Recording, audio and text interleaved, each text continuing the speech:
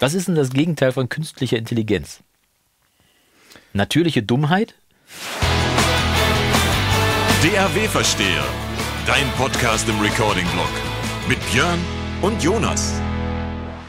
Ich bin ja gerade beim Bäcker meines Vertrauens gewesen. Auf dem Weg hierher komme ich immer beim Bäcker vorbei. Mhm. Und diesmal habe ich gedacht, weißt du was, ich bringe uns einfach mal ein bisschen Schleckerei mit. Schleckerei? Was ich nicht einkalkuliert habe, war, dass da eine Frau hinter der Theke war, die den Beruf des Verkäufers eher gemächlich zelebriert.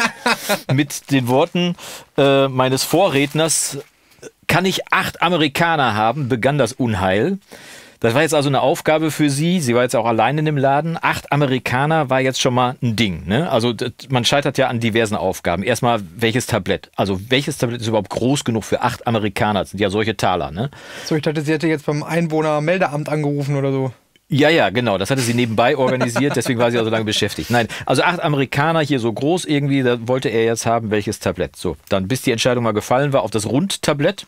Okay, alles klar. Dann die Zange, ne, darfst ja nicht mit den Finger anpacken, dann also mit der Zange den ersten drauf, den zweiten, den dritten, den vierten, den fünften und dann war eine Lücke zwischen dem fünften und dem ersten. Okay, alles klar. Wie sollten jetzt die anderen drei noch da oben drauf? Also einen noch dazwischen, einen noch in die Mitte gelegt, da waren es nur noch zwei.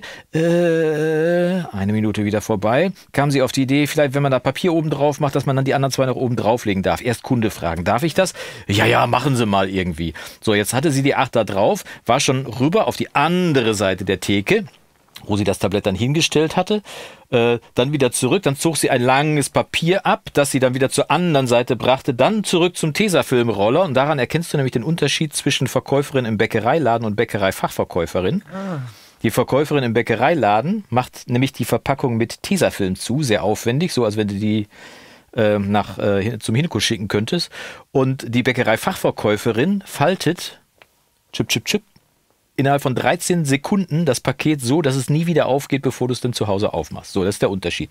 Kannst daran erkennen, auf jeden Fall. Ah. So, jetzt dauerte diese komplette Aktion und sie war gerade dabei, dieses, das Papier zuzumachen. Da sagte der Kunde vor mir, sagte dann, ach, nehmen Sie den neunten auch noch mit drauf, der sieht so einsam aus. Ei. Immerhin hat er passend bezahlt. Und dann kam ich an die Reihe und dann wollte sie jetzt aber beweisen, dass sie möglichst schnell diese leckeren Quarkbällchen in die Tüte reinspringen lassen konnte. Und die hüpften dann quasi von ihrer Gabel. Und ich habe schon darauf gewartet, dass einer daneben springt, aber dann hat sie es noch gerade so hingekriegt. Nein, arbeiten alle viel. Äh, ich will mich da auch nicht weiter darüber lustig machen, aber es war schon ein, ein kurioses Erlebnis zu wissen, dass man eigentlich pünktlich sein könnte ja, gut, äh, das erklärt zumindest deine akademische Viertelstunde heute mal wieder. ja, ich entschuldige mich auch dafür. Aber heute am grünen Donnerstag, an so einem bummeligen grünen Donnerstag, übrigens danke für den Kaffee, Sehr gerne. Äh, muss ich wirklich sagen, ah, haben sie aber auch nichts unversucht gelassen, um mich tatsächlich von hier wegzuhalten. Ah, das hat aber mir die Chance gegeben, ja. eine Viertelstunde länger zu heizen, damit du äh, heute nicht dich wieder beschwerst, dass dir zu, zu frisch ist. Ja. Ähm, ist mir das gelungen? Frei nach Udo Lindenberg, wenn die Heizer kommen und rocken und rollen. Ja. ja. Nee, alles gut. Ich habe ja heute einen langen Pullover an, wo es draußen schon 17 Grad sind. Alles dufte. Ich habe Zucker im Blut, es kann richtig abgehen. Und ich freue mich, dass ich heute hier sein darf und muss äh, im Holtwicker Storia Mastering Studio mir gegenüber der brillant frisierte und wunderbar aussehende, die goldenen Ohren von Holtwig, Björn Schlüter. Schön, dass ich da sein darf. Gut gerettet, gut gerettet. Ich muss aber aufpassen, dass ich nicht diesen blöden Spruch von Bodo Bach bringe. Schön, dass ich, äh, schön, dass ich da sein muss. Ich hätte da mal gern ein Problem. Ja. Und äh, zu äh, mir gegenüber natürlich die musikalische Fachkompetenz des Münsterlandes. Äh, übrigens, wie ich jetzt gelernt habe, kennt ihn wirklich auch jeder komischerweise im Münsterland, mit dem ich zu tun habe. Der liebe Jonas Wagner. Moin, moin, moin. Moin, moin. Schön, dass wir da sind. Ja, tatsächlich, heute ist, heute ist ein bummeliger Donnerstag, Gründonnerstag sogar. Grün. Heute ist der grüne Donnerstag und es waren alle unterwegs, die auf jeden Fall sicherstellen wollten, weil man ja morgen nicht mehr einkaufen kann, dass man heute nochmal losgeht. Das Auto ist bezahlt, also muss ja einmal die Woche bewegt werden. Ist ja egal, ob da 50 steht. Also 30 sind locker drin irgendwie, ne? Wenn man mal so richtig rasen will, auch mal 35, ne? und bei 70 kann man durchaus so 50 fahren und bei 190 oder 80 und wenn du dann noch einen Schwertransporter vor dir hast, welcome to the Münsterland. Aber das gab mir zumindest die Gelegenheit am Daruper Berg, so ein bisschen die Gegend zu genießen. Einfach mal zu sagen, ja, muss ja nicht. Aber Björn plant eh eine Viertelstunde für dich ist ein. jetzt auch nicht so schön eigentlich. Wenn du oben, durch wenn du oben, Baumberge durchfahren ja, können. aber wenn du oben runterkommst vom Daruper Berg, das geht jetzt ein bisschen ins Detail, aber wenn Ja. du da runterkommst, auf der rechten Seite äh, ist, äh, ist äh, Kloster Gerlewe und dann kommst du runter und, und fährst du, also Münsterland ist schon schön. Ja, das stimmt schon. Ne, kann man schon sagen. Und deswegen lade ich dich auch heute zu Quarkbällchen ein, wenn es knistert an die, für die Leute an den Empfangsgeräten. Das liegt nun mal daran, dass ich eine Papiertüte in der Hand habe und dem lieben Björn jetzt mal, wenn er schmatzen sollte, seht es ihm nach. Es ist aber auch wirklich köstlich. Ja, wir, also wir können es ja, können's ja sagen, wir machen ja, wir machen ja Fernsehen, ne? Wir mussten natürlich vorher schon mal kosten kurz. Ja. Ich habe mir noch nie Gedanken darüber gemacht, wie beim Essen auf einer Kamera aussehen könnte. Scheiße. Aber da wir ja von der Bühne kommen, ist es uns ja eh egal, wie wir aussehen. Schlimmer ist, dass ich jetzt komplett mit Zucker besudelt bin. Aber, Aber- es passt sich ins Farbschema eigentlich ganz gut ein. Ja, passt auf jeden Fall. Ja. Ich hatte heute so viel zu tun. Das kam aber mehr so aus dem Nichts heraus. Könnte das was damit zu tun haben, dass momentan ziemlich teure Plugins verschenkt werden? Genau damit. Habe ich aber überhaupt nicht mit gerechnet. Ich gucke ja immer, dass ich normalerweise Themenvielfalt so im Blog habe. Ne? Und letzte Woche habe ich ja über die, äh, über die Spark-Plugins von Universal Audio gesprochen. Einfach weil ich Universal Audio Plugins habe und die dann kostenlos jetzt auch ohne DSP-Karten äh, benutzen konnte. Ach so, Hast du gar nicht das habe mitgekriegt? ich noch gar nicht mitgekriegt. Ja, gut, die haben einen neuen Service rausgebracht, wo du dann, wenn du einen iLog hast, kannst du deine, kannst du die Plugins, die die auf, dieser, auf diesen Service rausgebracht haben, kannst du darauf registrieren und kannst dann auch ohne äh, Dongle benutzen. Also der, der DSP ist ja quasi für Leute wie dich zum Beispiel, ist ja ein Dongle, du nimmst ja damit nicht auf, normalerweise. Ne? Nee, aber ist es denn so, dass die Plugins, die ich jetzt besitze von der UAD, die kann ich jetzt theoretisch gesehen ohne diesen DSP? Wenn, ja, ja, genau. Wenn die portiert sind. Bisher sind noch nicht alle Plugins portiert, sondern nur ganz wenige, Mhm. aber die wollen so sukzessive alle Plugins dazu nehmen und dann kann man die halt auch unterwegs mal benutzen oder seine DSP-Karten auch verkaufen, wenn man sie nicht braucht. Ne? Das heißt, du wirst früher oder später meine DSP-Karten kaufen, so wie wir das schon 117 Mal besprochen haben? Könnte passieren, wobei ich natürlich auch überlege, wie viel ich eigentlich brauche. Ne? Also ich habe ja Unmengen an Plugins von denen damals für viel Geld gekauft Ja. irgendwie. Aber äh, letztendlich die DSPs brauchen, also wirklich brauchen, ist nur beim Recording, wenn ich wirklich mit Preamp-Simulationen arbeite und sonstigem Zeug. Ansonsten alles andere kann ja ruhig mit Latenz ablaufen, weil das wird ja von der DAW ausgeglichen, mehr oder weniger. Ne? Ja, wenn, äh, So. es geht ja nur darum, dass du halt genug Rechenpower hast am Ende des Tages. Also Rechenleistung, nicht Power im Sinne von Schnelligkeit, sondern überhaupt, dass du sie nutzen kannst. Ne? Ja. Ähm, und ich sag mal, wenn man sich dran gewöhnt hat, ähm, also ich habe da zwölf Kerne stehen und benutze in der, in der Regel 0 bis 1 UAD-Plugin in einer äh, normalen Mastering-Session. Vielleicht beim Stem-Mastering kommt es mal vor, dass eventuell mal zwei drin landen oder so. Ja. Also das ist schon, ja, schon sehr unüblich. Wobei, stopp, wenn ich, wenn ich Klassik äh, mache, also äh, Orchestersachen oder Chorsachen mache, dann benutze ich ein bisschen mehr UAD-Kram. Vor allem mein Lieblingshall, den äh, Lexikon ähm, 480. 480L, ne? Heißt der? Kann das 480L, sein? mhm. Ja, genau. Ja, in denen habe ich mich doch sehr, also in die Halls, die es da gibt. Ne? Ja. Vor allem die, ich glaube, die Large Hall heißt sie einfach oder so.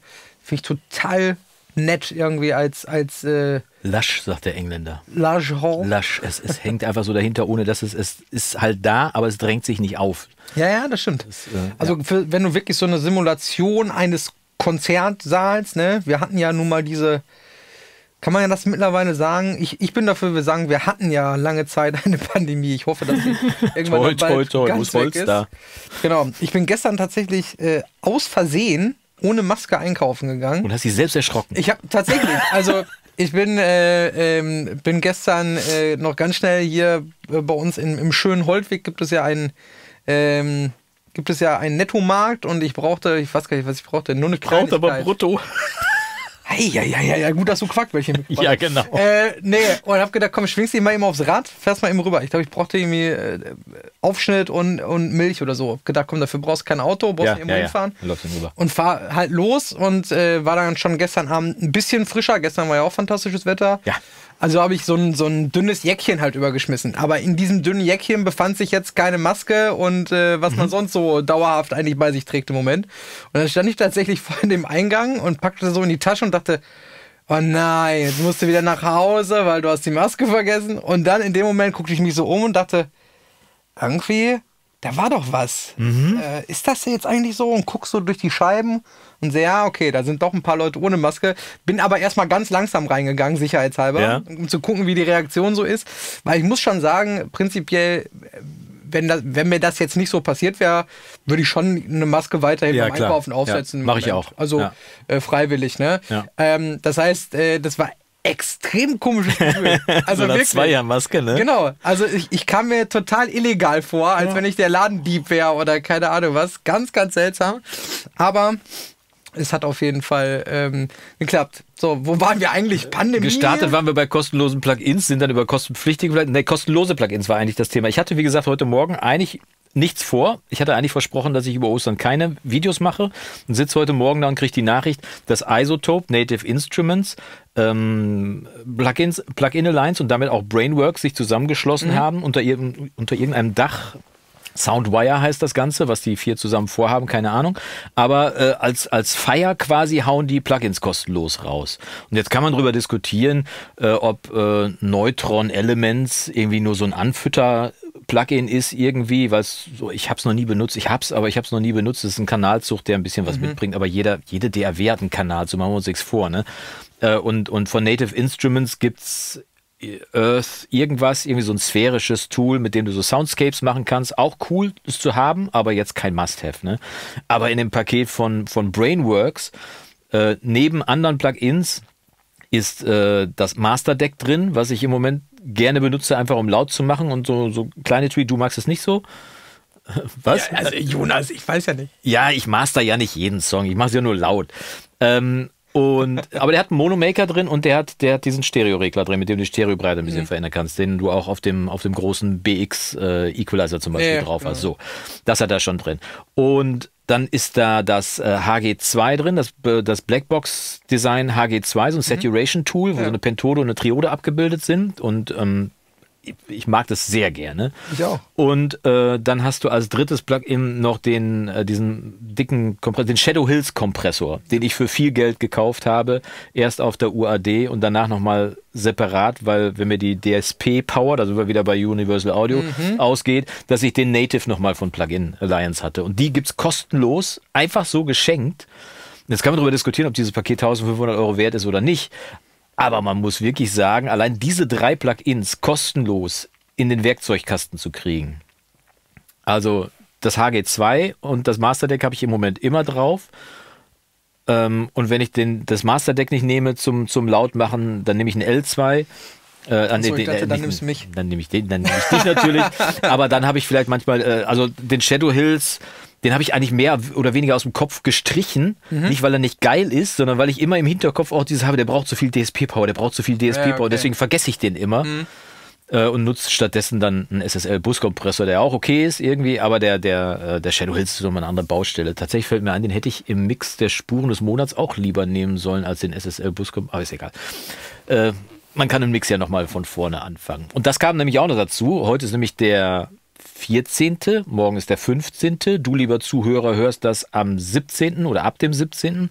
Aber ich habe das große Premium-Mix-Video auch noch fertig Ostern. gemacht. Frohe Ostern, genau. Also an den äh, Hörer. An den Hörer, genau. Frohe Ostern, auch in die Kamera Mensch. mal kurz rein, die uns gerade zuguckt. Frohe Ostern, ihr Lieben. Aber das große Premium-Mix-Video habe ich auch noch fertig gemacht, weil wir nämlich morgen nach äh, Dänemark in den Urlaub fahren und dann musste ja alles fertig werden. Und das war schon äh, spannend. Und wie gesagt, als heute Morgen dann auch noch dieses kostenlose Plugin-Paket plötzlich auf meinen Tisch hier segelte und ich dann feststellte, ey, du wolltest ja kein Video machen. Aber das Angebot gibt's nur bis zum 26. April. Was machst du denn jetzt? Hab ich mich doch noch hingesetzt und ein Video gemacht. Und falls du, lieber Zuhörer, das noch nicht gesehen haben solltest, guck mal auf dem YouTube-Kanal, da findest du das auf jeden Fall. Und dann wurde es plötzlich spannend heute wieder, ne? Äh, bis ich dann wieder hier war, damit Also- wir uns also auf ein Quarkbällchen zusammensetzen können und ein, ein Käffchen an einem bummeligen Donnerstag. Also das Video ist ja quasi auch schon online über. Also Wahnsinn. Also wir sind Zukunfts-Jonas, Zukunftsbjörn und Vergangenheitsbjörn Vergangenheitsbjörn und Vergangenheits-Jonas. und Gegenwartsbjörn und, Auch. und Jonas. Das stimmt. Crazy. Wir sind also nicht nur zurück in der Zukunft, wir sind auch vorwärts in der Vergangenheit. Hä? Das bringt mich zu meiner üblichen Frage. Es Ja. gibt ja, äh, überall steht ja mittlerweile AI dran, also Artificial Intelligence oder künstliche Intelligenz. Mhm. Was ist denn das Gegenteil von künstlicher Intelligenz? Natürliche Dummheit? Oh, das ist tatsächlich äh, eine gute Frage. Hm, künstliche Intelligenz, ja. Also ich sag mal, äh, künstliche Intelligenz kann ja auch was mit Kunst zu tun haben, im, im weiteren Sinne. Okay, wir sind ja in einem künstlerischen Beruf, sagen wir es mal so, ja. Genau, das okay. heißt, wir beide sind auch irgendwie KI. künstlerische Intelligenzen.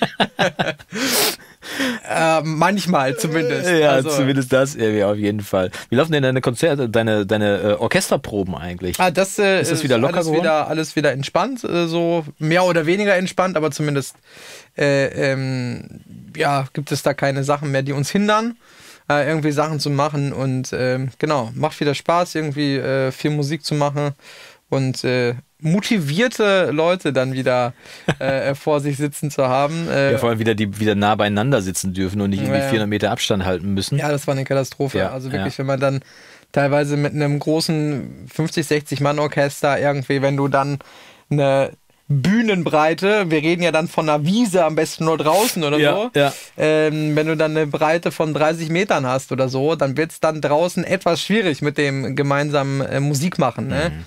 Von daher bin ich da aber ganz guter Dinge und man sieht ja jetzt auch generell, wie im Münsterland, ähm, das werden die wenigsten wissen, die jetzt hier nicht aus der Region kommen, gibt es ja ein riesengroßes Zeltfestival, ne, das Karpaten. Ja. Festival. Ne? Das heißt genau. übrigens tatsächlich so, für alle, die das nicht kennen, das heißt so, weil das ist mitten in der Karpaten, sagt man. Ja, also, die Abkürzung war, das ist eine Ab- Abkürzung eigentlich für Karpaten Jans. Karpaten Jans hieß das früher, weil ich glaube, das hängt irgendwie mit dem Wirt zusammen oder sonst Ja, ja, was. genau, ja. da gibt es doch so eine Kneipe, glaube ich auch, oder? Wie war das? Ja, Das kann wohl sein, ja, genau. Ja, auf jeden Fall ist dann ein riesiges Zeltfestival, wo auch viel Live-Musik ist, natürlich also viel Top 40 Sachen Ja, oder genau, so, oder ja. so ich früher Tribute-Bands. ganz oft gespielt. Genau, ähm, Schlager ist da auch eine Menge äh, unterwegs, also deutsche Ja, riesen. Riesenparty auf jeden Fall über Genau. eine Woche, glaube ich, oder so, ne? Oder ja, so das noch geht länger. über mehrere Wochen, aber dann immer an den Wochenenden und es startet, glaube ich, wenn mich nicht alles täuscht, jetzt an Ostern. Startet das dann auch klassisch wie in, ähm, wie in Wacken mit einem Blasorchester, was reinzieht? Das äh, weiß ich nicht, es gibt diesen sagenumwogenen Maigang. Ja. da, ähm, äh, der dann glaube ich, weiß nicht, ob das dann an diesem Wochenende des 1. Mai ist oder was, keine Ahnung, ganz genau weiß ich das nicht. Da müsste ich meinen ja. mein, äh, Kumpel äh, äh, Dom van Daal alias Thomas Dendal fragen, der hier in der Nachbarschaft äh, als Musikproduzent tätig ist, äh, weil der ähm, da auch fürs Karpatenfestival sehr viel macht. Okay, dann wenn wir gerade beim Ähm. Grüßen sind, dann grüße ich auch noch den Stefan, Premium-Mitglied im Recording-Blog. Stefan ist nämlich der Chef von den Wacken Firefighters. Ach, den habe ich ja kennengelernt. Genau, Richtig. ein fantastischer Kerl irgendwie und der geht mit seinen Firefighters, mit seinem Blasorchester ja in Wacken Stimmt, immer, richtig. macht er ja die Einleitung fürs große Rockfestival. Stefan, liebe Grüße. Der hat mir übrigens äh, nach der Mixbar, die wir da zusammen hatten, Ja. äh, bei dir im Premium-Bereich, ähm, hatte er mir nochmal eine E-Mail geschrieben, äh, was denn jetzt genau das richtige Mikrofon wäre, äh, äh, womit dann alles quasi noch besser wird und so. Und Ja. äh, da er mir auf meine E-Mail nicht mehr geantwortet hat, lieber Stefan, gehe ich davon aus, dass du entweder jetzt bestens bedient bist oder dass du nicht zufrieden warst mit meiner Antwort. Das Äh. ist gar nicht so sehr Vielleicht spart er noch. am Mikrofon. Nee, ich glaube, die Empfehlungen waren äh, nicht äh, jenseits der, der normalsterblichen Richtung. Äh, R- Preisrichtung. RE20, ein MD 441, Jetzt fängst du wieder an, hier einen die Namen dynamische, ja, ja, genau. aufzubashen, die du Ja, toll ich, findest. ich ne? hau rein. Ne, Mikros, die ich habe am Ende des Tages. Aber lass mal zurückkommen zu, zu, den, zu den Plugins, die ich ja, wo ich jetzt das Video gemacht habe, Ja. dass die kostenlos raus. Ich bin noch nicht dahinter gekommen, was die uns sagen wollen mit diesem Soundwire. Ne? Also was der, also ich kann mir vorstellen, dass sie natürlich Entwicklungsressourcen vielleicht koppeln oder sonst was irgendwie, um da vielleicht Ja. ein bisschen einzusparen. Aber am Ende des Tages kostenlose Plugins und deswegen habe ich das in dem Video auch gesagt. Eigentlich habe ich mich geärgert, weil ich habe dafür Geld ausgegeben und während ich bei Universal Audio noch sagen könnte, ich habe die Plugins damals bezahlt und darf sie jetzt auch ohne DSP benutzen. Finde ich okay, weil ich kriege sie umsonst Ist ja jetzt. Win-Win, ne? genau, so ist ja. für mich ein Win-Win mehr oder weniger. Ist es jetzt so, dass hochwertige Plugins rausgehauen werden? Quasi für mich gefühlt verschleudert. Ich habe da wirklich viel Geld für ausgegeben. Ne? Und sie sind es mir auch wert. Also ich be- bereue keinen Cent, den ich dafür ausgegeben habe. Und sicherlich habe ich die Entwicklung auch mitbezahlt.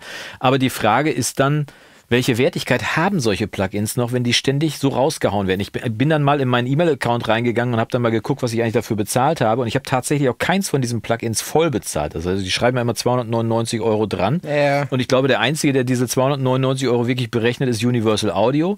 Alle anderen, selbst Plugin Alliance, Waves und wie sie alle heißen, du hast immer irgendeinen Sale, wo Ja. du ein Plugin bekommst für 29 Dollar oder weniger. Und natürlich, wenn es bezahlt ist, klar, Zweitverwertung, hau raus damit. Ne? Aber auf der anderen Seite muss ich mich dann, darf ich mich dann unter dem Video von Universal Audio zum Beispiel damit auseinandersetzen? Spark ist, ist ein Abo-Service. Ähnlich wie bei Slate, ne? wo du halt äh, ein gewisses Paket an Plugins bekommst. Du zahlst halt im Monat, jetzt im Jahr zahlst du 150 Euro, glaube ich, macht auf den Monat gerechnet 12,50 da kriegst du ja noch nicht mal ein Plugin vernünftiges bei Universal Audio normalerweise für. Und normalerweise finde ich auch ein, ein vernünftiges, gutes Plugin sollte auch 150 Euro kosten dürfen, weil bei der Energie, bei dem Hirnschmalz, der da reingeflossen ist und so weiter und so fort. Ne? Jetzt kriegst du aber dieses Online, dieses Abo-Paket und viele Leute beschweren sich darüber, dass ah, noch ein Abo-Paket, nochmal 12,50 Euro und so weiter, würden aber nicht mit der Wimper zucken, sich ein Pro-Q äh, von, von Fabfilter zu kaufen für, für 150 oder 200 Euro und regen sich darüber auf, dass sie dann in dem Abo, ich verstehe beide Seiten natürlich, ne? Ja. aber ich finde trotzdem, die Wertigkeit ist bei so einem Abo-Service durchaus da, weil wenn du bei Slate guckst, wie viele Plugins du bekommst, einige Leute haben gar nichts anderes als Slate, weil in dem Paket alles drin ist. Bei Universal Audio kriegst du jetzt richtig gute Plugins.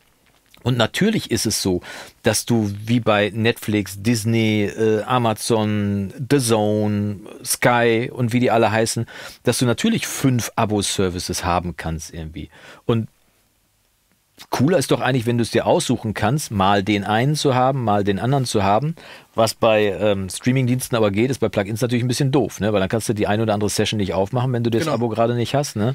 Das ist so ein bisschen die Frage, was du, glaube ich, machst. Wenn du am Ende des Tages einfach, ähm, ich meine, wir sind ja alle gewisse Gear-Nerds und haben natürlich Ja. auch immer Bock, was Neues auszuprobieren oder Ja. sowas. Die Frage ist, wenn du für dich selber aus Hobby, aus Spaß einfach Musik machst und ist auch nicht so schlimm ist, wenn du jetzt eine Session von vor zwei Jahren aufmachst, äh, irgendwie ähm, und da ist dann halt ein Plugin, was nicht funktioniert oder so. Ja, mein Gott, dann ist das halt so. Ja, aber das, da Ne? brauchst du ja doch nicht mal ein Abo für. Da reicht es ja Genau. schon dafür, dass du das damals noch als, als 32-Bit reingeladen Ja, hast und jetzt als Demo 64-Bit ist es nicht mehr Ja, rausgekommen. Genau. Ne? Das kann ja passieren. Aber ich glaube, wenn du, ähm, so wie wir beide äh, das machen, äh, ich kann natürlich nur für mich sprechen, äh, äh, als hauptberuflicher äh, äh, Mastering-Engineer, ich muss natürlich schon irgendwie schauen, dass meine Sachen, dass meine Sessions funktionieren und dass mein Absolut. Workflow auch funktioniert. Ähm, deswegen auch habe ich auch schon in vielen Interviews und Sessions gesagt, ich gucke jetzt oder probiere jetzt nicht in jeder Session 27 Limiter aus, um zu gucken, was jetzt vielleicht dann da klingt dann halt 27 mal ein bisschen anders. Ja, natürlich. Ne? Man weiß natürlich. Aber nicht besser oder schlechter, sondern nur Genau. anders. Ja. Man weiß selbstverständlich, okay, wenn man jetzt sehr bassintensive, Bass-Heavy-Musik hat, irgendwie Trap, Rap, Hip-Hop, EDM-Sachen, okay, da reagiert vielleicht der Limiter besser, also ein bisschen anders oder, oder ne, äh, der Kunde möchte es gerne sehr laut haben, aus welchen Gründen auch immer, Ja. dann weiß ich, okay, das ist eine gute Kombination. Möchte natürlich, wie auch immer. So, aber am Ende des Tages kann ich natürlich nicht, während äh, ich arbeite, äh, äh, mir quasi äh, ähm, Sachen ausprobieren und testen und heute mache ich mal das Subscription-Abo äh, irgendwie. Nee, das kannst du nicht während der Arbeit machen. Da musst So. du dir einen freien Nachmittag nehmen, da musst Richtig. du Bock drauf haben und sagen, so, heute habe ich mal Lust, ein neues Plugin auszuprobieren. Ich möchte ja auch nicht, dass meine Friseurin, äh, wenn ich da auf dem Stuhl sitze, irgendwie sagt, ich, ich habe hier mal 20 neue, neue Scheren mir bestellt. Ich wollte mal austesten, irgendwie wie das so, so klappt. Ne? Ja. Das geht dann je nachdem. Ne, äh, bei dir wäre es jetzt ja, relativ schnell das geht vorbei. eben besser oder schlechter, kann man mal so sagen. Genau. Und ja. äh, irgendwann, auch wenn man immer nur ein Stück abschneidet, ist dann äh, vielleicht sicher bald. Also bitte, äh, hier der Friseur ist ja in der Nachbarschaft. Ich hoffe, ich bringe die jetzt nicht auf Ideen hier. Nein. Quatsch. Also äh, das macht, macht natürlich keinen Sinn, äh, äh, tausend Sachen Nee, auszuprobieren. also zumindest nicht im Arbeitsablauf. Ne? So also richtig. wenn man sich damit auseinandersetzen möchte, man hat von dem Plugin gehört und so weiter, aber in einem laufenden Projekt, wo du vielleicht sogar noch Zeitdruck hast oder so, sich Ja. da auch noch hinzusetzen. Klar, jeder prokrastiniert gerne und probiert neue Dinge aus. Aber am Ende des Tages, ich habe es neulich noch, äh, ich weiß gar nicht, irgendwo in einem Coaching, glaube ich, gesagt. Da wurde ich nämlich gefragt, mit welchem Equalizer ich was, was so meine, meine Go-To-Equalizer sind und so weiter. Und natürlich habe ich einen Equalizer, mit dem ich aufräume, repariere und ich habe einen Equalizer, mit dem ich färbe. So. Ne? Also Färben sind meistens analoge Nachbildungen, die ich habe. Und Aufräumen, Reparieren ist in der Regel der Stock-Equalizer, der bei der DAW dabei ist, weil der einfach das macht, was er soll. Ne? Und, oder den TDR Nova. Aber im Kern habe ich gesagt, dass es äh, um, um dem Coaching Freund auf der anderen Seite auch den Druck zu nehmen, habe ich gesagt, am Ende des Tages sind das alles nur Hilfsmittel. Das heißt, einen Equalizer musst du nehmen wie einen Hammer. Ob der jetzt von Versace kommt oder von Obi oder von Bauhaus. Am Ende des Tages ist es ein Stück Metall mit einem Stock dran und mit allen dreien kriegst du den Nagel in die Wand. Gibt es von Versace einen Hammer? Ja, aber ganz sicher. ich bin gerade so eingefallen. Na, aber am Ende des Tages bricht es das darauf herunter. Ja. Erstmal ist es ein Werkzeug, ein reines Werkzeug. Und als solche sollte man Plugins auch erstmal betrachten. Und bis du an den Punkt kommst, wo du die Färbung von dem CLA 76 Kompressor gegenüber dem Universal Audio 1176 Kompressor überhaupt hörst, bist das du lange ist, das dabei. Das ist ja ein ganz anderes Thema. Das ist ja, ja auch, ich sehe das immer so, ah, es ist anders, es wird anders und es klingt anders vielleicht. Ja. Äh, Ob es dann besser, das ist, ist anders. So. Ja. Ähm, aber dieses Thema Abos ähm, beschäftigt mich auch so ein bisschen, ähm, weil ich sagen muss, ich hatte schon mehrere Abos, aber ich habe mittlerweile alles wieder deabonniert, also gekündigt, äh, was ich so habe. Hast du ein, äh, ein Abo laufen? Ja, tatsächlich musste ich neulich eine Session aufmachen mit äh, jede Menge Slate-Plugins drin. Mhm. Also habe ich das Slate-Abo abgeschlossen, aber nicht, weil ich es wollte, sondern weil ich es in dem Moment musste. Ich habe aber auch ein verstecktes Abo, wenn ich das mal so sagen darf. Denn wenn ich Studio One benutze und da kommt ein Update, sagen wir, wir haben jetzt Version 5, glaube ich, aktuell, mhm. und sagen wir mal, morgen käme Version 6 raus von Studio One, dann würde ich das Update bezahlen müssen. Ja. Und bei Logic sind wir wieder bei der Apple-Diskussion. Ne? Logic habe ich einmal gekauft für 199 Euro damals. Äh, und es ist 12, 15 Jahre her, keine Ahnung. Und habe seitdem nichts mehr dafür bezahlt. Das heißt, selbst eine DAW, auch Cubase, wenn ein großes neues Update rauskommt, musst du es bezahlen. Ableton von 10 auf 11 musst du bezahlen. Ja, klar. Das sind versteckte Abos im weitesten Sinne. Das ne? ist aber auch, äh, wenn du die neueste, das neue Microsoft Office-Paket haben willst, musst du es halt auch kaufen. Ja, oder du ja. arbeitest mit Open Office so wie ich. Ne? Dann kannst du es kostenlos ja, hast, aber, ja, ja, genau. Und bist dann halt eben nicht so kompatibel oder sonst was. Wie, wie du es auch runterbrichst am Ende des Tages. Audacity Mission geht auch. Hm, ja. Ja, voll, volle VST-Kompatibilität. Ja, absolut. Habe ich auch schon mal ein Video zu gemacht, tatsächlich. Gibt es irgendwas, wozu ich noch kein Video gemacht habe? Das ist eine gute Frage. Quarkbällchen äh, aus Großfeld. Aber um das Abo, Abo zu runterzubrechen, am Ende des Tages, äh, ja, es, es hängt tatsächlich davon ab, was du davon willst. Wenn du es beruflich brauchst, äh, finde ich, finde ich bezahlte Plugins auf jeden Fall äh, eine gute Alternative, weil erstens äh, bringst du dem Entwickler deinen, deinen Respekt entgegen, indem du bezahlst dafür, ja. du verdienst damit selber auch Geld irgendwie.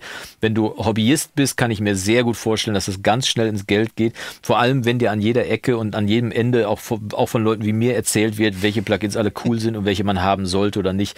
Ich breche das nochmal runter. Die DRW-Plugins sind alle gut und man kann bis auf 90 Prozent für einen guten Mix, bei, äh, je, je mehr Handwerk du drauf hast, sogar bis 100 Prozent damit einfach alles mischen. So.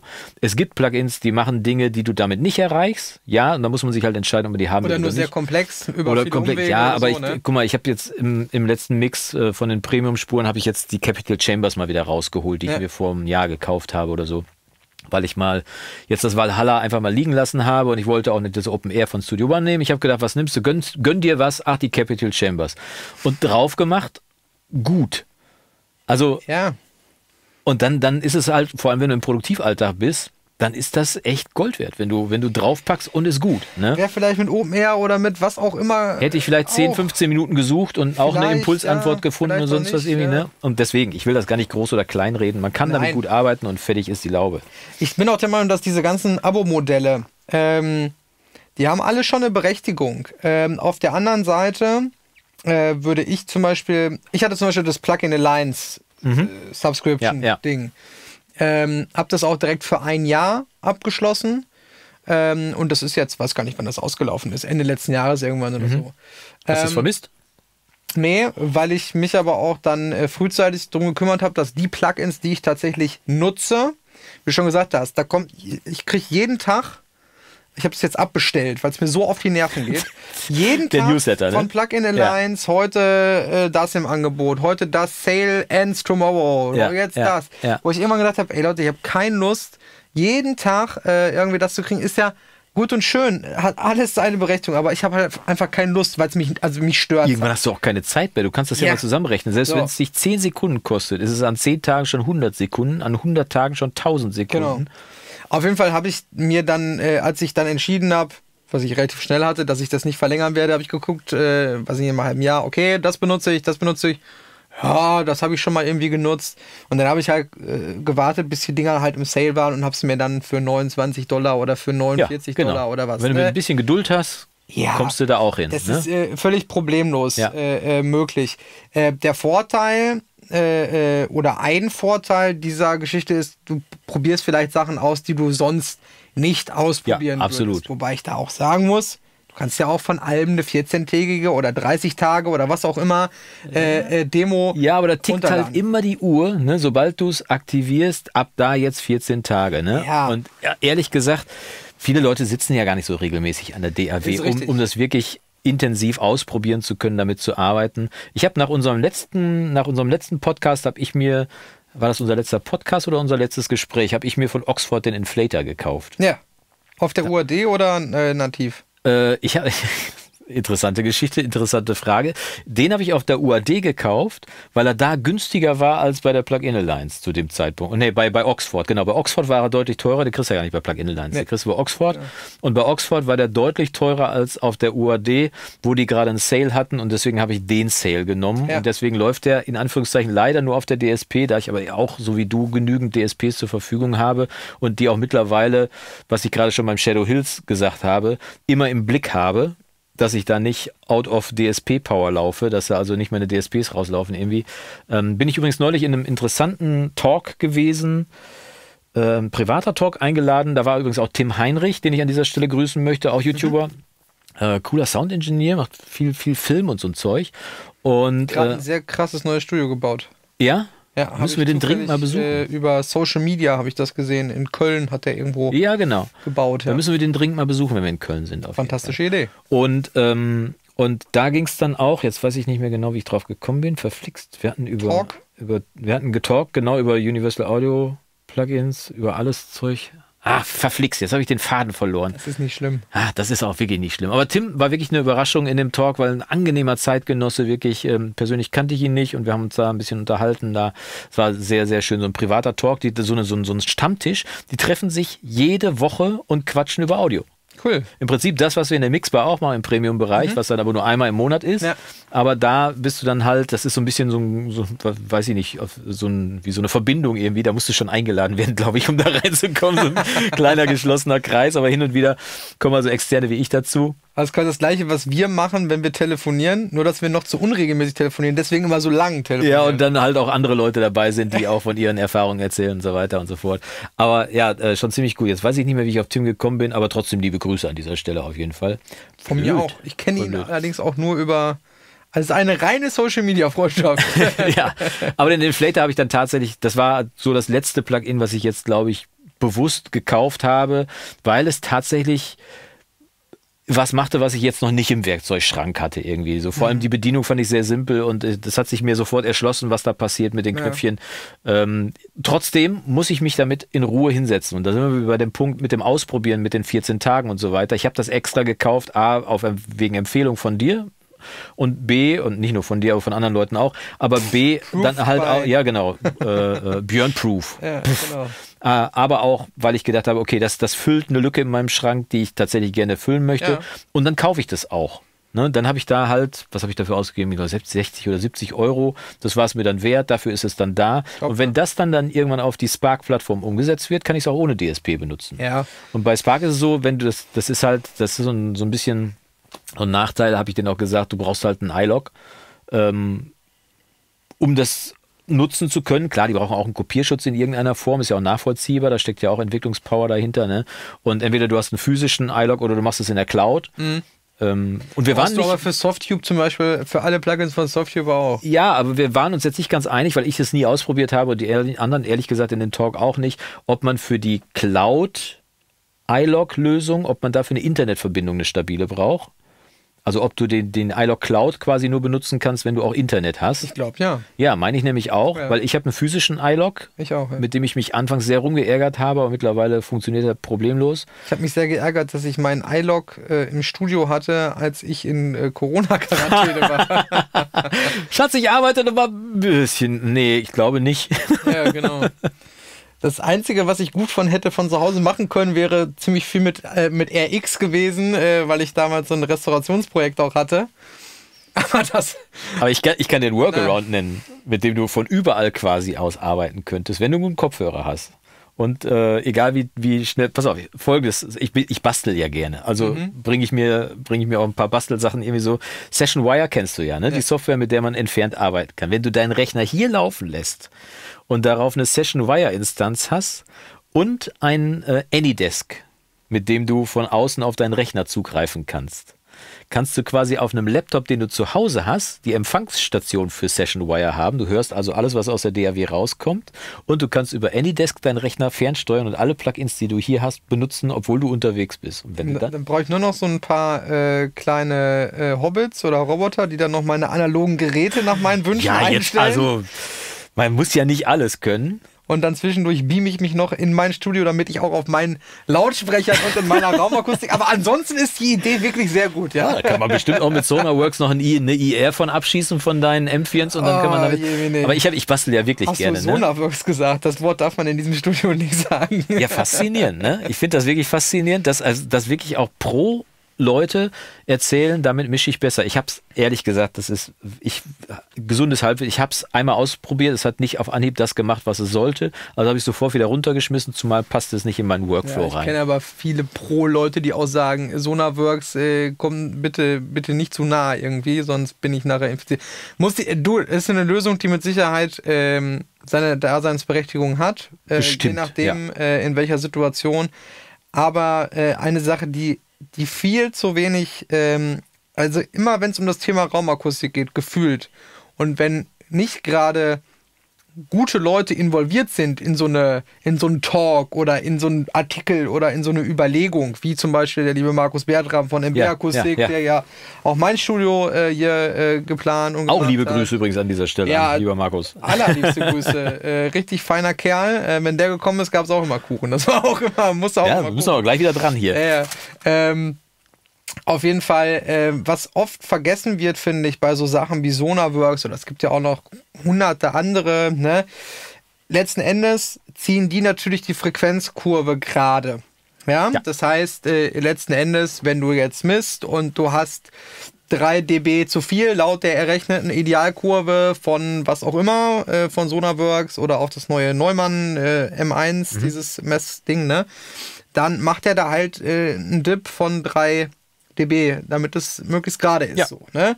äh, ist ja auch völlig okay. Macht ja, macht ja erstmal Sinn. Das ist ja die eine Instanz. Ne? Das ist letzten Endes auch etwas, was Markus Bertram macht. Ja? Genau, ja. So, aber es gibt ja auch noch eine zweite Instanz. Wir haben ja einmal die Frequenz und wir haben ja auch die Frequenz auf Zeit-Ebene. Ja, was ja in einem sogenannten Wasserfalldiagramm gemessen wird. Und das wird ganz oft vernachlässigt, vor allem eben im Bassbereich, weil das ist ja die wahre Kunst, dass du es hinbekommst, dass das Ausschwingen äh, von 100 Hertz idealerweise möglichst nah äh, ähm, auch, äh, äh, also was heißt möglichst nah, aber dass eben das Verhältnis, wie dann 50 Hertz ausschwingt und wie 100 Hertz ausschwingt, äh, dass sich das möglichst äh, äh, annähert. Da gibt's ja diese RT60-Messung, heißt es, glaube ich, äh, wenn man hier alles täuscht. Und ähm, das war bei mir tatsächlich der im Studio der allergrößte Unterschied. Ich habe ja hinten äh, meine Rückwand, die kein Mensch kennt, außer die, die, äh, äh, die schon mal hier waren tatsächlich. Ja, also das sind Helmholtz-Resonatoren, ne? Genau, vier Helmholtz-Resonatoren, die genau auf die Raummode gestimmt Ja. sind und, und darüber sind nochmal vier Breitband-Bassfallen. Mhm. Ähm, das war der, der größte Impact, positive Impact auf den Raum, Ja. weil einfach das Ausschwingverhalten im Bassbereich viel, viel klarer ist. Das heißt, man hatte vorher trotz linearer Frequenzkurve oder nahezu linearer Frequenzkurve, hast du trotzdem das Gefühl, dass du zum Beispiel ein Dröhnen hast. Ja. Ne? Weil eben an der Stelle, wenn du jetzt, keine Ahnung, eine Bassgitarre oder, oder einen Basslauf hast, ne, du, du, du, und das ist dann der dritte Ton, ist zufällig dann dieser, die Raummode Ja. oder was auch immer, Ja. dann hast du trotzdem das Gefühl gehabt, du hast einen Dröhnen oder so drin. Ja, ne? ich meine, man kann es ja beschreiben. Ne? Du würdest einen Basston anspielen auf der Bassseite und du spielst einfach einen Bub. Und der Bass entwickelt sich natürlich oder machst einen Bub, so, ne? Da hast du ein bisschen längeren Impuls irgendwie. Und der kann nach Bub schon wieder zu Ende sein, wenn der Raum schön trocken ist und keine lange Nachhaltzeit hat. Wenn der Raum sich aber befruchtet, dann macht der Bass zwar Bub, aber buh, schwingt, hinten raus im Raum noch ein bisschen nach. Und der Raum, Ja. der Bass ist halt indirekt, er drückt nicht richtig, er ist, äh, und das war bei mir tatsächlich auch im Studio. Einer der großen Effekte, Ja. die ich hatte, tatsächlich, als ich gesehen habe im Wasserfalldiagramm, dass eben nicht nur die, die, meine Kurve ist nicht extrem linear, ist ja auch kein, kein Mastering-Studio, aber die Tatsache, dass wir das im Wasserfall, die Nachschwingzeit, Mhm. so runtergekriegt haben, war deutlich effektiver als eine, eine glatte Genau, Frequenzkurve. und das funktioniert eben nicht Ja. mit Sonarworks und Nein. nicht mit irgendeiner Software. Das geht nur mit Masse.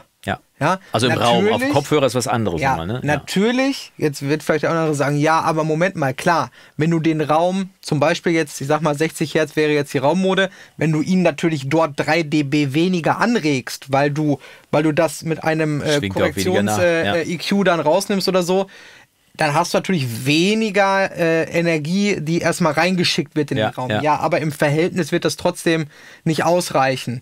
Ähm, ne, das heißt, du kannst nur hoffen, dass, äh, dass deine Abhörposition dir da vielleicht sozusagen entgegenkommt ein bisschen. Ja, ne? ja. Aber letzten Endes hilft, es hilft nur Masse.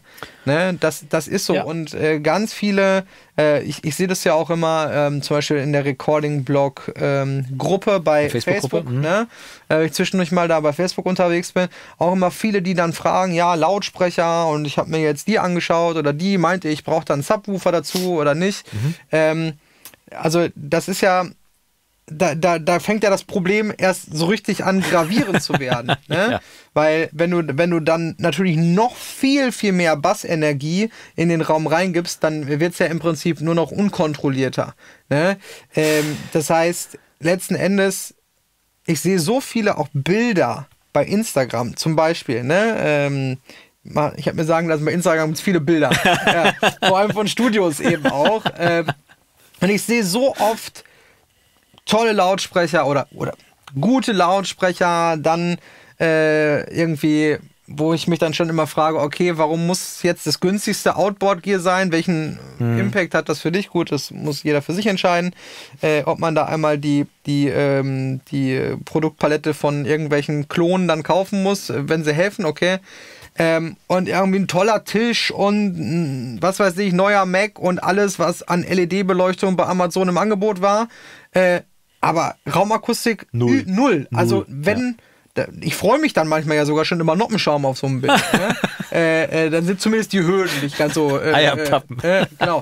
Wo ich dann immer denke, ganz oft wird an der falschen Stelle investiert. Ja. Ne? Und da können wir tatsächlich äh, äh, auch mal gut drüber sprechen, finde ich, weil Ich kann, ich kann, Entschuldige, behalt mal den Gedanken, weil ich hatte nämlich neulich in einem Coaching die Frage, ich habe KH 120 von Neumann Ja. und ich überlege auf 310er umzusteigen. Ich habe bei dir gesehen, also bei mir, Mhm. fragte er, habe ich gesehen, du bist von den 120ern auf die 310er gegangen.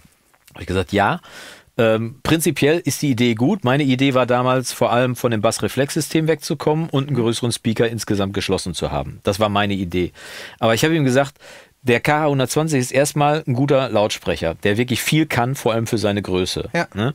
Und ich habe gesagt, die Kohle, die du jetzt in die 310er reinstecken würdest, ist ehrlich gesagt meiner Ansicht nach besser in Raumakustik angelegt als im Lautsprecher. Das ist natürlich nicht fancy und cool. Ne? Natürlich sieht der K100 310 cooler aus als ein 120er. Und wenn ich alte Videos von mir sehe in meiner Rumpelbude, als ich noch nicht so richtig aufgeräumt habe und Markus noch nicht da war, wo meine 100, ich habe da auch gut abgemischt, keine Frage. Ne? Heute mische ich besser ab, weil Raumakustik, da ist mindestens genauso viel Geld reingeflossen. Nein, bei mir ist sogar das Doppelte von dem reingeflossen, was ich in die Speaker investiert habe. Bei dir, du fängst gar nicht besser erst an zu rechnen irgendwie.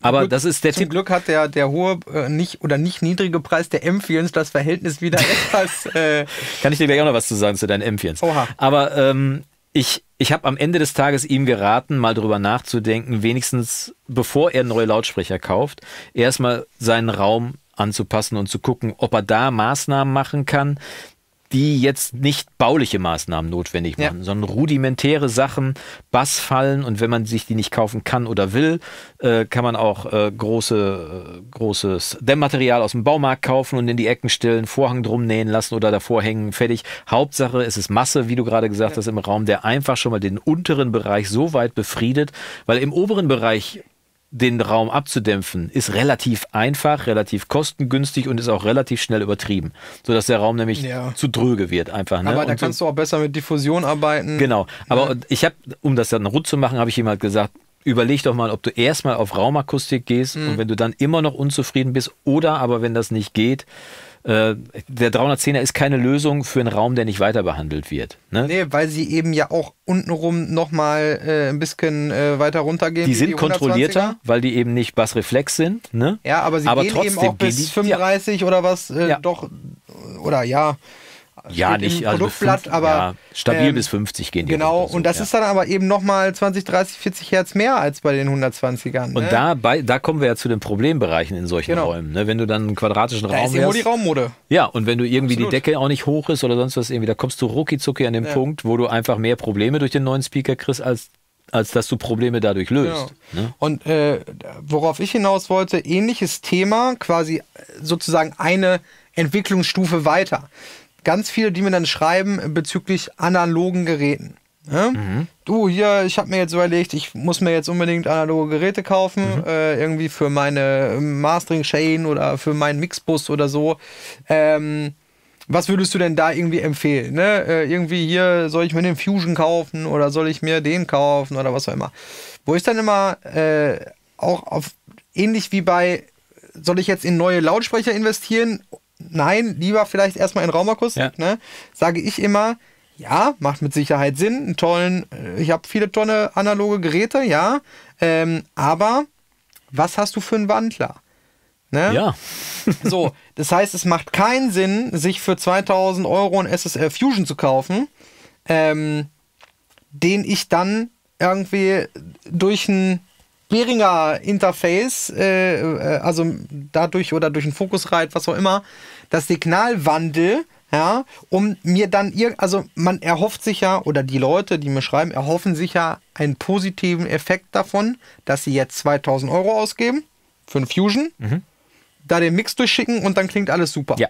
Ne? Das ist auch gar nicht böse oder despektierlich gemeint, sondern das ist ja einfach, ich bin irgendwann vielleicht mal mit demselben Gedanken und du auch, haben wir schon oft drüber gesprochen, Ja, ja. irgendwie losgezogen, ne? ob das analoges Summing oder was auch immer dann, das macht's jetzt besser. Macht es nicht, es macht's anders. Okay, das ist mein Lieblingssatz heute. Nicht, dass wieder einer in die Kommentare schreibt, dass wir zu oft am Ende des Tages gesagt haben. ich habe gleich einen noch, äh, der es tatsächlich besser gemacht hat, aber den verrate ich dir danach. Okay. Ja. Äh, so, deswegen bin ich auch da der Meinung, bevor man irgendwie Geld ausgibt, und da ist der SSL Fusion ja noch relativ weit oben, wobei man sich auch da überlegen muss, dass das fünf Ich Prozessoren weiß in einem gar nicht, Gerät was das sind. ist. Ist nicht schlimm.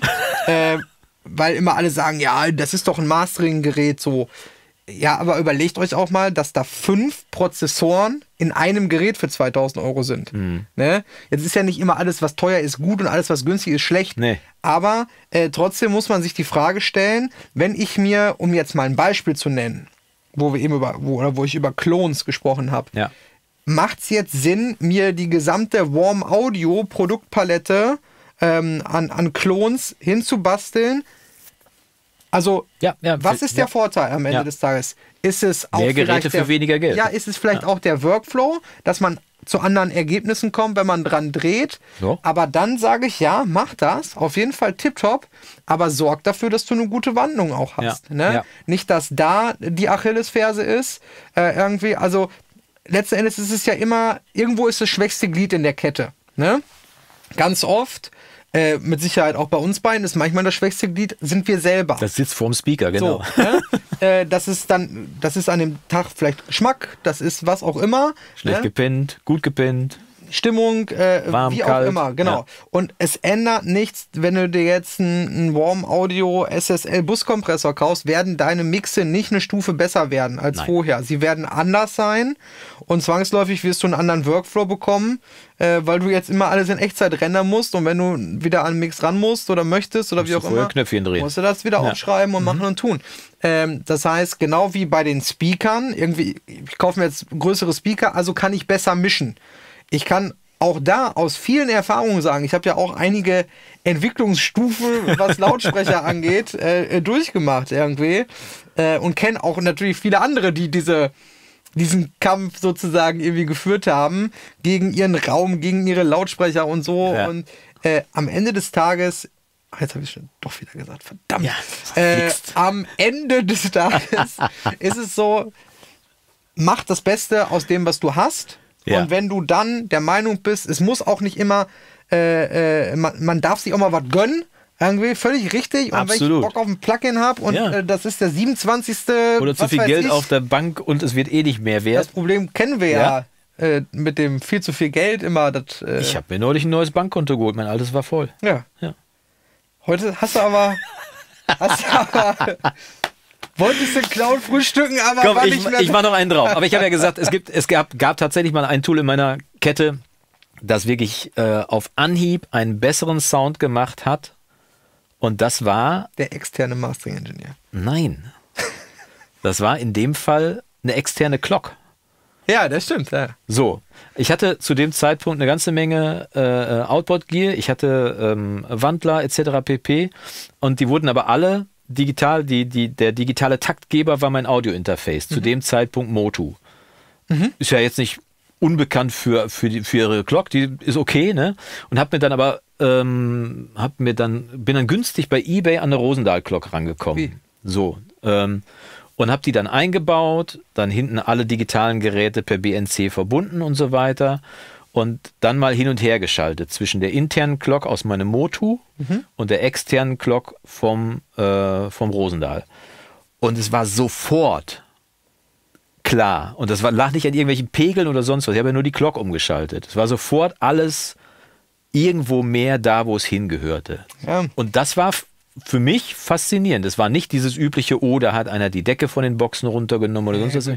Es war einfach alles klarer, sortierter und so eine Glock ist bestimmt ein Tool, das, wenn du mit viel Outboard arbeitest, mit, mit Wandlern und mit Zwicky und Zuppi, das auf jeden Fall helfen kann, wenn du nicht die, was- klar gibt es auch Audio-Interfaces mit guter Clock, irgendwie wenn du Apogee hast, dann brauchst du keine externe ME, Clock. Ne? definitiv genau. Clock. aber, aber wenn du so in diesem Motorbereich unterwegs bist, irgendwie, da hat tatsächlich die Clock damals richtig was gebracht. Ja, es, es ist natürlich so, es gibt so gewisse Dinge wie zum Beispiel der Wandler auch. Äh, die meisten, die jetzt nicht mit Outboard arbeiten, werden sagen, ja, irgendwie Wandler, okay, ja, natürlich, du hast ja den Wandler zwischen, also in deinem Audio-Interface ist ja der Ist ja Wandler. einer drin, genau. Ne? Äh, äh, das ist ja der Wandler, der letzten Endes aus deinem Computer die Musik verarbeitet, analog, damit es zu deinen Boxen kommt. Oder umgekehrt, wenn du aufnimmst, das Mikrofon ist ein analoges Signal, wird durch das Interface gewandelt.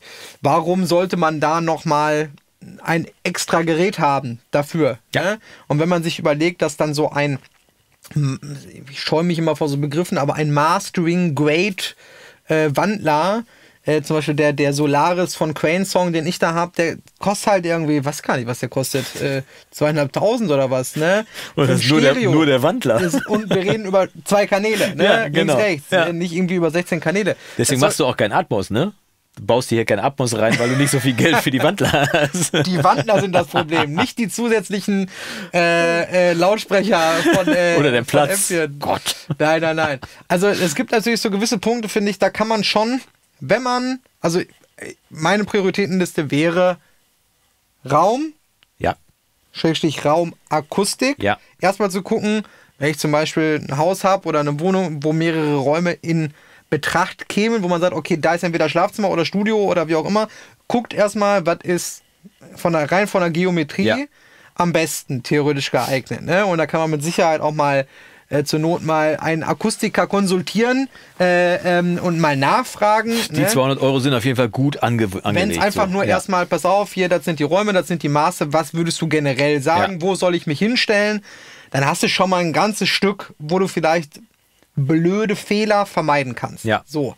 Als zweites, wenn das klar ist, äh, äh, ein bisschen Raumakustik kann man auch äh, do-it-yourself machen, wie du schon gesagt hast. Ja. Äh, und wenn, wenn, wenn man sich einfach nur Billi Billigregale kauft und die mit Steinwolle füllt und äh, äh, zum Beispiel machen ganz viele, äh, oder was auch immer, vielleicht kann man selber einen Holzrahmen bauen. So, das heißt Raumakustik, wenn der Raum so gut wie möglich dann ist, dann kommt als nächstes die Lautsprecher.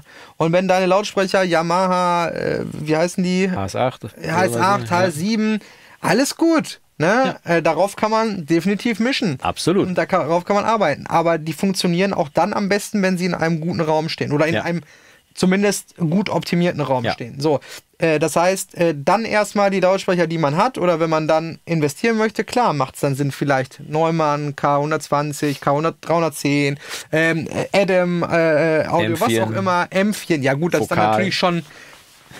M4 ist natürlich schon ganz weit oben, Ja, je nachdem, ja. was für ein System du kaufst. Ähm, so, und dann irgendwann, äh, wenn man dann wirklich sagt, so jetzt habe ich aber immer noch zu viel Geld auf dem Konto, oder ich möchte vielleicht einfach in diese Welt, in diese analoge Welt, dann kann man sich immer noch mal überlegen, okay, ähm, vielleicht mal einen externen Preamp, wenn man jetzt wirklich Gitarre oder Gesang viel aufnimmt oder so, macht mit Sicherheit Sinn. Oder wenn man sagt, ach komm, ich kaufe mir jetzt mal äh, einen 1176 oder einen Nachbau und wenn, wenn ich ihn nur nutze zum Recorden quasi selber, Ja, ne? ja, genau. Äh, um die Spur quasi schon Ein vorzuformen. bisschen vorzukombinieren. Ähm, alles, alles cool, ne? Und wenn jetzt einer sagt, äh, ich habe aber jetzt eine halbe Million gefunden, die muss ich jetzt ausgeben, dann kauft euch eine SSL-Konsole. Äh, äh, Nein, irgendwie, kauft ne? dir eine Heizung. Oder hei kannst einmal Heizöl Kauf- auftanken für kauft dir- 500.000. Ja, viele SSL-Konsolen, also klar gibt es heute moderne Geräte, aber viele von den SSL-Konsolen waren ja zeitlang nur noch die Heizung im Studio. Weil Ja, und die Mausablage, der, ne? Ja, ja, genau, die teuerste Mausablage der Welt.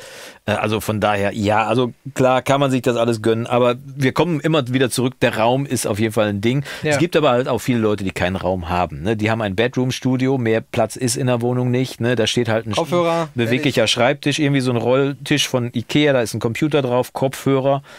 Dann ist vielleicht gerade noch genug Platz da, Alles gut. um die Instrumente an die Wand Reicht. zu hängen. Ne? Reicht. Und äh, auch auf 35 Quadratmeter mit Wohnen und allem kann man gute Musik machen. Definitiv. Äh, du kennst den Raum, in dem äh, Billie Eilish und ihr Bruder Musik Ja. gemacht haben? So, der Raum war, wenn der so groß war wie dieser hier, ne? Und das war ein Schlafzimmer irgendwie. Ja, ne? ja, klar. Deswegen, also davon muss man sich frei machen. Die Magie findet vor dem Mikro statt. Ne? Und der, der Haupt, das Hauptproblem äh, sitzt vor den Boxen. Was würdest du zu meinen M4-Lautsprechern noch sagen? Ich habe mit einem, äh, mit einem äh, Elektroingenieur gesprochen, Oha. Mit einem äh, äh, Dozenten an einer Universität Mhm. und hatte den zum Thema Kabel gefragt, weil du ja gesagt hast, dass nur die M4-Kabel gehen.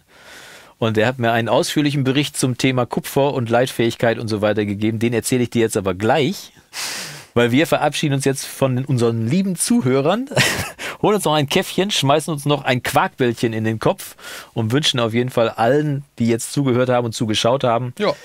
ein schönes Osterfest. Lasst es euch gut gehen. Hast du noch berühmte letzte Worte, außer denen, die dein äh, treuer Freund auf dem T-Shirt sagen würde? Eigentlich nicht so wirklich. Ich wünsche euch auch äh, schöne, schöne Feiertage. Einmal direkt in die Kamera. Ähm, wenn ihr das jetzt auch an Ostern hört. Und ähm, ja, ich freue mich schon wieder, wenn du das nächste Mal äh, wieder hier bist. In zwei Wochen erzähle ich von Dänemark, was mir da passiert ist. Ich nehme die Akustikgitarre mit, vielleicht ist mir da ja Musik passiert. Wir werden es sehen. Ich fahre ja auch in Urlaub. Ja. Aber dazu dann in zwei Wochen Genau. mehr. Mach's gut bis dahin und Yassas. ja, also der, äh, der ich habe tatsächlich länger mit ihm über diese Kabel gesprochen äh, Ja. und der hat gesagt, äh, er holt seine Kabel grundsätzlich im Kfz-Zubehörhandel. Okay.